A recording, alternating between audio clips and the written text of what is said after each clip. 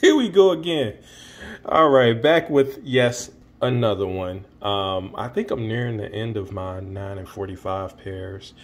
But Mr. 945 coming back at y'all again with another one. The 9 and the 45. And y'all already know what these are. Gen 4, both Glock 19 and Glock 21.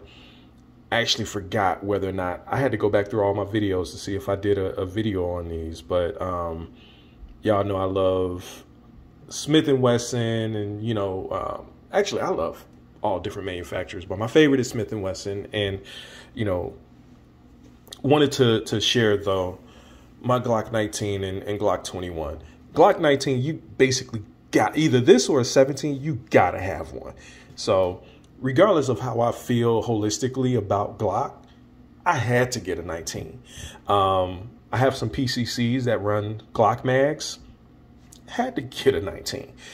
And, you know, I love 45, so had to get a 45 as well, which is the Glock 21.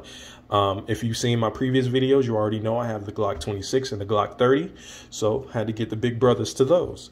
Um, actually had these first and then got the other ones. But go figure.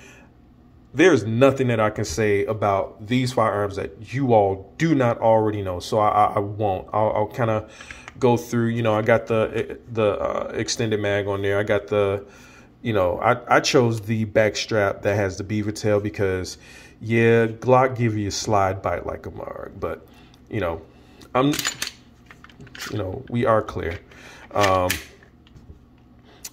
as far as the trigger, I don't know everybody, you know, really kind of, you know, hates on the Glock trigger.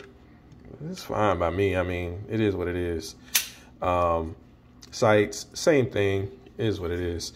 Same thing with the 45, but I, I actually really like both of these. Um, the grip angle is a little bit, you know, eh. I like the Smith & Wesson, Wesson a little bit better, but these are not bad. The finger grooves, you know, they're not bad. So but that's that's again, I, don't know what more I can say about a Glock 19 or a Glock 21. Now I have been back and forth between getting a 19X um, or a Glock 45 uh, MOS.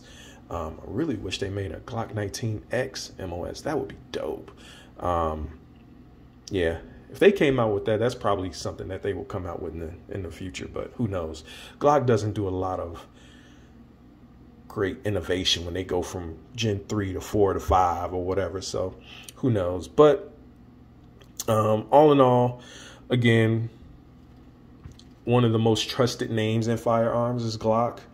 You know, but again, a lot as far as what other manufacturers do, I, I think they've taken what Glock has done and have improved upon it. Um, but again, you know, Glock perfection, sure. You know, it is what it is. But um, yeah, just wanted to share these with you guys.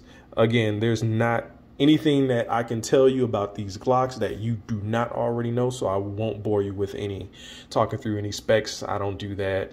What is it used for? It's a handgun. Use it for whatever you know you think a handgun would be used for. Trigger capacity, everybody knows all about that stuff. So, um, you know, even the value of Glocks is pretty standard. So, is what it is. But yeah, if uh let me see. I have to see what other 945 pairs do I have in my collection. I have to go through the safe and see. I think I've talked through them all. Um, it may be time to go to the long guns. Who knows?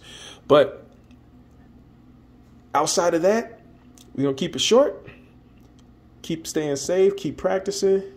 And I will see you all on the next one. Mr. 945 out.